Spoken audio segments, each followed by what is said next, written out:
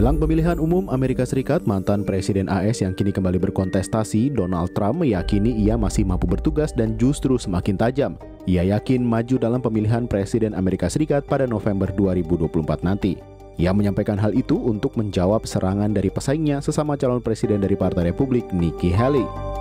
Reuters pada Sabtu 27 Januari 2024 melaporkan Trump menyebut dirinya kini lebih tajam dibandingkan 20 tahun lalu. Hal itu disampaikan Trump dalam kampanye di Nevada. Kampanye itu digelar menjelang pemungutan suara awal atau kaukus untuk pemilihan calon presiden dari Partai Republik. Kaukus di negara bagian itu rencananya digelar pada 8 Februari 2024. Seperti diketahui, Trump yang kini berusia 77 tahun mencalonkan diri lagi sebagai calon presiden AS. Ia akan bersaing dengan calon petahana yakni Presiden Joe Biden yang saat ini pun sudah sepuh yakni 81 tahun. Terkait usia, Haley sering kali melontarkan pertanyaan tentang kemampuan Trump menjadi presiden.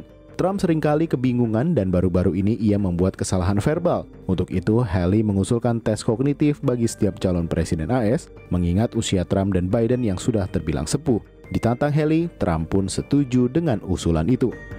Meskipun kegelisahan Haley terkait usia Trump dan Biden tak bisa dilepaskan dari unsur politik, fakta bahwa usia berpengaruh pada tindakan seseorang tak dapat diingkari. Dalam pidato tanggal 19 Januari 2024, Trump tidak bisa membedakan antara Haley dengan mantan ketua DPR dari Partai Demokrat Nancy Pelosi. Trump juga kadang-kadang terlihat melontarkan kata-kata yang tidak jelas, bahkan ia juga menyatakan mantan Presiden Barack Obama masih menjabat.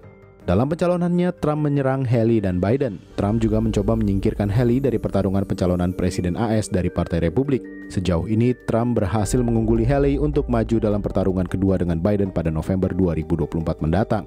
Sementara itu terhadap Presiden AS Joe Biden, Trump kini berupaya mengalihkan pendukung politisi Partai Demokrat itu dengan menggunakan isu migran. Dalam sejumlah kesempatan, Trump selalu berbicara tentang isu perbatasan. Tak bisa ditampik, di era Biden jumlah imigran gelap yang tertangkap saat melintasi perbatasan AS Meksiko meningkat. Namun Biden optimistis dengan pemungutan suara pendahuluan Partai Demokrat di California Selatan yang akan berlangsung pekan depan. Biden menegaskan ia setia kepada negara bagian itu karena telah menyelamatkannya pada pemilu 2020. Ia yakin ia akan kembali memenangkan dukungan pemilih kulit hitam di Carolina Selatan dan wilayah lain yang menjadi pendukung penting.